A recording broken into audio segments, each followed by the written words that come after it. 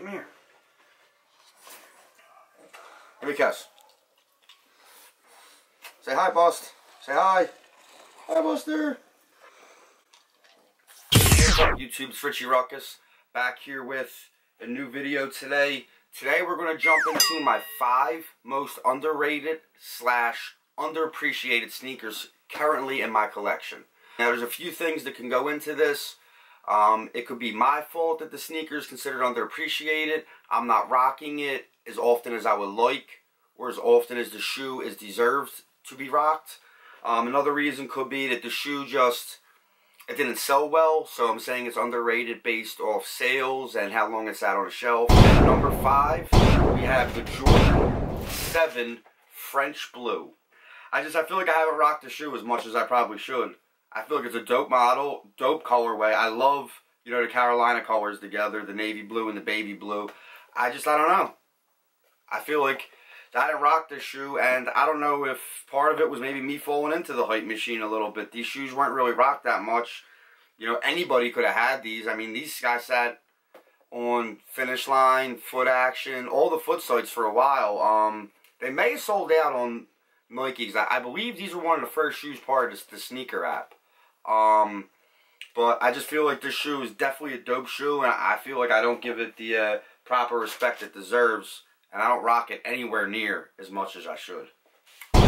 Number four most underappreciated shoe in my collection is ironic that this is number four. Um, it's, it's weird how us sneakerheads correlate times of our life with sneakers. Um, I know exactly where I was when these sneakers dropped. Um, a matter of fact, I was in the middle of a tattoo appointment, and I told the tattoo artist to hold on so I could log on to Villa.com and, and get these. Um, so coming in at number four is the ASIC Villa Wale Bottle Rocket. ASIC, always a classic shoe, classic silhouette. The comfort is there. These shoes are amazing. I love these sneakers. Um, the black, the red, the blue. It all goes great together. It blends very well. The quality of the shoe is bananas. The, the accents of the shoe with the little silver stars and the mesh netting. The sole, this insole was the stripes. I believe this insole, yeah. This insole was the stars. It came with, an, you know, pins, another pack of laces. I, yeah, I mean, yeah. the red laces. It's just, I, I kept the black laces in there. I'm not really big fan of uh, swapping laces. I'm actually surprised that these are still in the box. I have a Jordan brand box down here that I keep stuff like that in if I ever need to use them. But Asics did a great job with these. Asics Villa, Wale, great shoe, great silhouette. You see the sole, you know. No, I mean, I probably wore these for like five, six times the summer they came out, and then they just, you know, that's the problem with having so many sneakers. I got my my collection down to about 94 pairs right now. It's still way too many sneakers. So stuff always falls by the wayside. Summer, you know, I'll probably be putting these back on once summertime rolls around. Um, the red, white, and blue is great for Memorial Day, 4th of July, Labor Day, Flag Day. Any day you want to throw out there. But the shoe's great. I think the one problem I do, I just think it's funny that Wale, one of my favorite rappers, is highly underrated as a rapper. Um, so it's only fitting that his sneaker is on my top five highly, highly, highly, highly, highly underrated and underappreciated sneakers in my collection. This is definitely, definitely some major heat right here. And it's a shame that these sneakers do not get the recognition by me or you that they deserve. Coming in at number three is again a shoe. I remember exactly where I was at when this sneaker dropped. Um, I was on my way back from Hershey, PA. I was seeing a concert and these sneakers dropped and I bought them. These were one of the first sneakers I think to roll out on the sneaker app. Sneaker, the gold lace tips are amazing. Um, just everything. These shoes are, again, sneakers are great for American type holidays. I'm a sucker for red sneakers. I love them.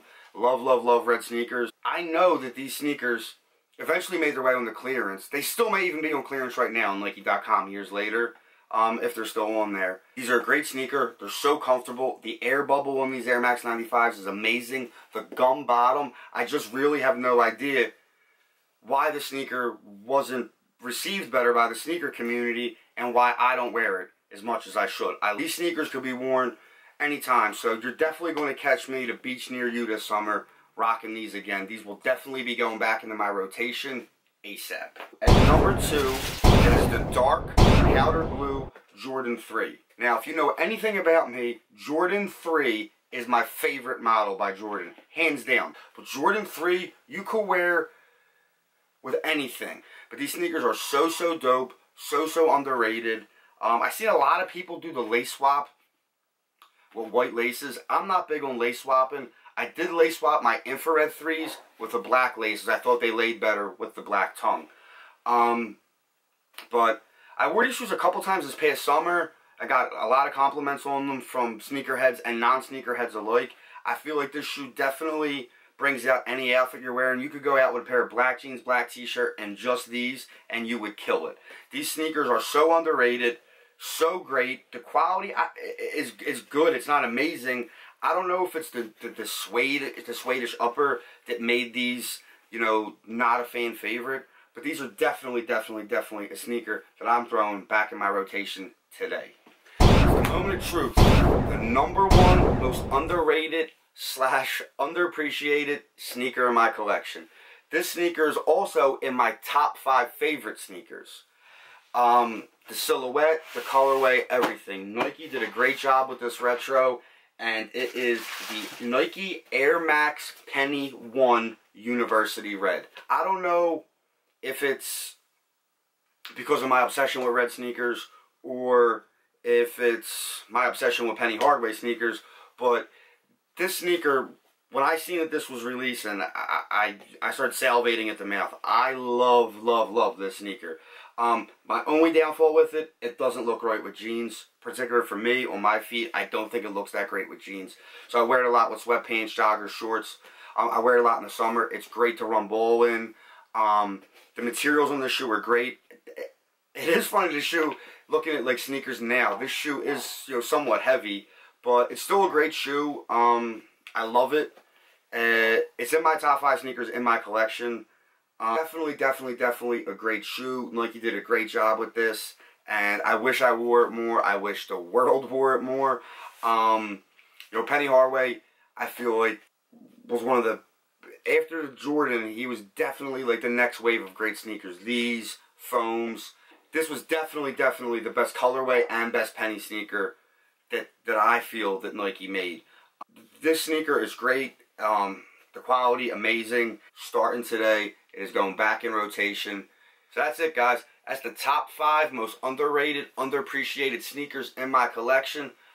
I'll be back again this weekend with a new video. This weekend's video is going to be the top five sneakers every girlfriend of a sneakerhead should have. So it's going to be a great video. Again, hit that subscribe button, hit that thumbs up. Follow me on Twitter, Instagram, and Snapchat. I'm Richie Rukkus. Until next time, peace.